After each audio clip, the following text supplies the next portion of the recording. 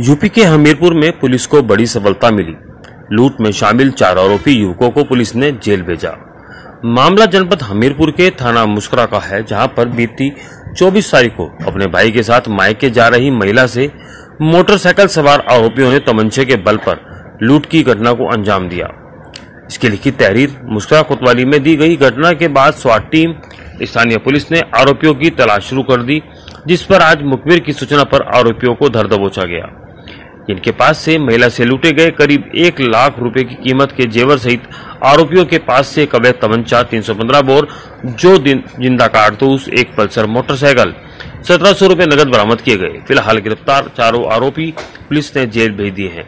वही घटना का खुलासा करने वाली टीम को पुलिस अधीक्षक श्लोक कुमार ने दस हज़ार रूपए का नगद इनाम भी दिया है। Bureau report. विकास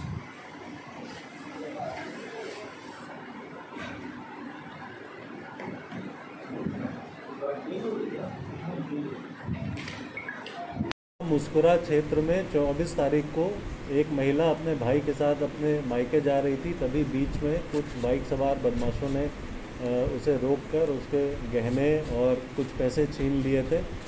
थाना मुस्कुरा पे मुकदमा पंजीकृत कर थाना मुस्कुरा की टीम और स्वाट टीम को इस घटना के अनावरण के लिए लगाया गया था, जिसके क्रम में आज उनके द्वारा चार लोगों को गिरफ़्तार किया गया है।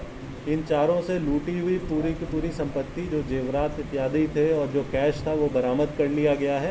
पूछताछ पे इन्होंने बताया कि जो पीड़िता है उसकी छोटी बहन के साथ इनमें से एक अभियुक्त की वार्ता लगातार होते रहती थी। उससे इसे सूचना मिली थी और दो तीन अन्य साथियों के साथ इसने प्लानिंग करके उसे रास्ते में रोक कर उसके साथ ये लूट की थी। इस घटना का सफल अनावरण करते हुए आज चार लोगों को गिरफ़्तार कर न्यायिक अभिरक्षा में भेजा जा रहा है। वो सोनार, जिसके पास कि इन लोगों ने ये लूटी हुई संपत्ति औने पौने दामों में बेची थी, उसे भी गिरफ़्तार किया गया है। घटना का सफल अनावरण करने के लिए थाना मुस्कुरा और स्वाट टीम को दस हज़ार रुपये का इनाम दिया गया।